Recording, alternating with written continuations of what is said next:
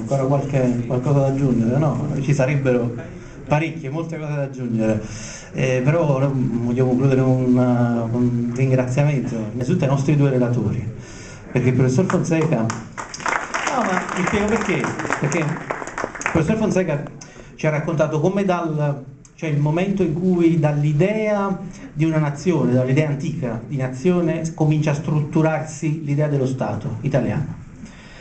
Invece il professor Chieffi, che è, stato, che è venuto subito dopo, ci ha raccontato invece come si è, poi si è realmente strutturato in un secolo e mezzo quello Stato. È stato bello il fatto che ci ha raccontato fuori dalla retorica, fuori dalla glorificazione, dalla facile geografia del risorgimento, ci ha raccontato un secolo e mezzo di problemi sono problemi di ieri e di oggi che sono ancora le sfide di oggi e di domani. E, e poi devo ringraziare la dottoressa Leonardi perché per questi relatori e per questo dibattito che è di altissimo livello e che di questo livello insomma sono rari questi dibattiti in questa città, va bene? E poi ringrazio tutti che siamo stati qua stasera, va bene? Buonasera a tutti.